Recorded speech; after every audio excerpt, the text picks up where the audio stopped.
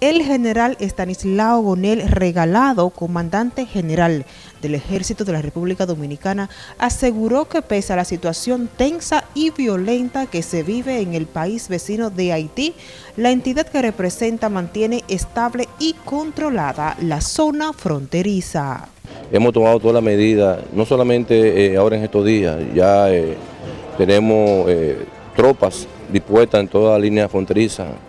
por más de eh, ocho meses, lo cual eh, eso garantiza eh, que no haya ningún tipo de incidencia, ya que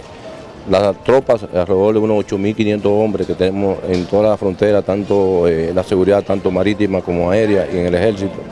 Y precisamente hemos tomado, a partir de la semana pasada, reforzamos lo que son los puntos principales, como son Dajabón, Elia Piñas y Maní Pedernales. Y ahí lo que tiene que ver con unidades especiales, como son los cazadores y los comandos, Además, eh, lo que ya existe, que son las patrullas fronterizas, como el cerco fronterizo, lo cual no hay ningún tipo de, de incógnita ni inconveniente para que sea garantizada la frontera. Giovanni Cordero, NTN, su noticiero regional.